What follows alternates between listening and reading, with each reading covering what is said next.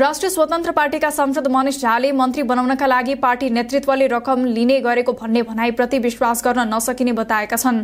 पार्टीका सभापति रवि लामी छानेले करोडौं रुपियाँ लिएर मन्त्री बनाउने गरेको आक्षेप लागिरहेको बेला सांसद झाले सो भनाइलाई आफूले विश्वास गर्न नसक्ने बताएका हुन्। सोमबार संघीय संसद भवन परिसरमा संचारकर्मीहरूले राखेका जिज्ञासाको जवाफ दिने क्रममा उनले पार्टी सभापति लामी छानेले मन्त्री बनाउनका लागि रकम असुली गरेको पुष्टि गरेर देखाउन चुनौती दिएका छन्।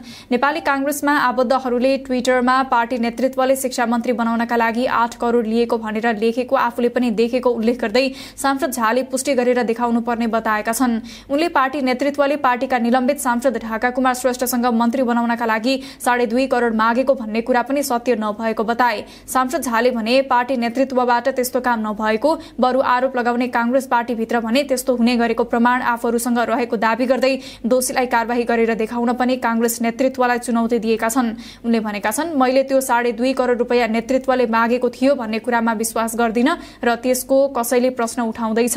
मैले पनि ट्विटरमा केही काङ्ग्रेसी जनले लेखेको आठ करोड रुपियाँ शिक्षा मन्त्री बन्नलाई माग्यो भनेर त्यसमा म विश्वास गर्दिन। त्यो स्ट्याटस लेखेर चुनावका बेलामा स्टन्ट गर्ने हो भने कति दाई भाउजूले के के लिए भन्ने कुरा त हामीलाई पनि थाहा छ नि। हामीले प्रमाण पेश गरेपछि कारवाही गर्छ त्यो दलले।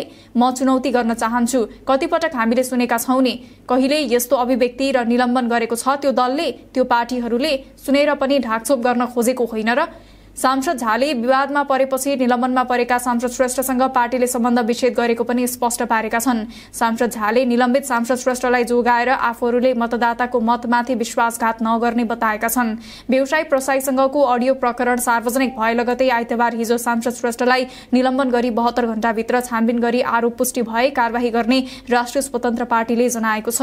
मनिष झाले स्थानीय तहको निर्वाचनमा नेपाली काङ्ग्रेसका महामन्त्री गगन थापाको संयोजकत्वको घोषणा पत्र मस्यौदा समितिमा बसेर काम गरेका थिए। उनी स्थानीय तहको चुनाव लगत्तै नेपाली काङ्ग्रेस पार्टीबाट अलगिएका उनी राष्ट्रपा प्रवेश गरेका थिए। राष्ट्रपाबाट उनी समानुपातिकबाट सांसद निर्वाचित भएका हुन्।